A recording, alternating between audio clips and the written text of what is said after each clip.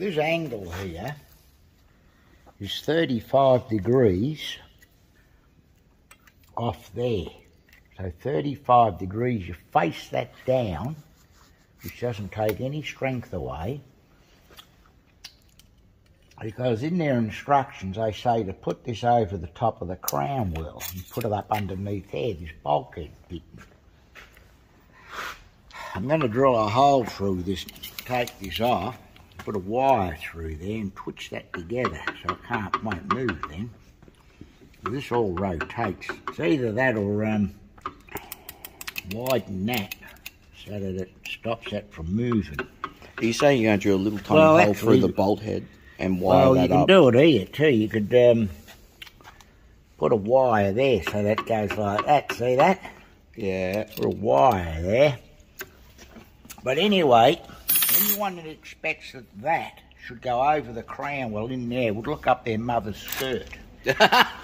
because I've done it this way many times before, even in the um, in um, Hiluxes and Nissan Patrols and and uh, rear Land Cruiser diff. This is a reverse front diff, Hilux diff.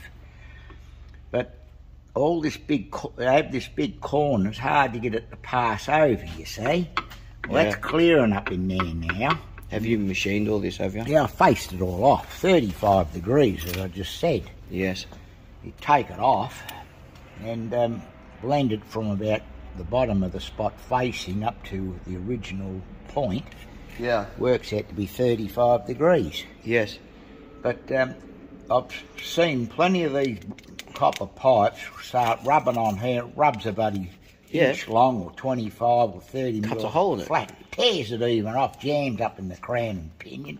Yeah, it's stupid to go over there. Yeah, so anyway, that's all back on there now. So that's what you do. That's how I do it anyway, and I think it is the best way Of course. because nothing's failing there. It's missing by a couple of mil the copper pipe up here. Mm-hmm. Even. So all we've got to do, This is an ARB locker. See, there's the box. Trusted, tested, tough traction. but they don't seem to uh, think of uh, that person's fitting it. Has to go about it. For them to say to put that over the top of the crown wheel is insane. I'll stop this now. Might as well be. That wire, that wire will stop this from going back and forth and disturbing that line. See that? Yeah. It's called Cobb and Co.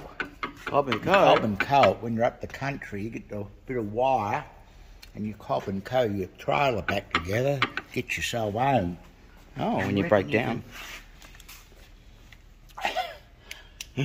See down in there, can you reckon that? See that? See the um. See that pipe down in there where it's clearing the crown wheel? Mm-hmm. Whether you go tilt that a bit like that, um, or it's up in there. You can't, can you? Got to Well, I it on have there. it. Have it on there again then. That's the only thing way you can put it in without going over the top of the crown wheel. Mm-hmm. But anyway, liquid nails that'll hold it. This bloke, he's around the corner, he wants to bring a real one, but it's pissing out fucking oily, or water, uh, air. Okay. So we've got everything done up.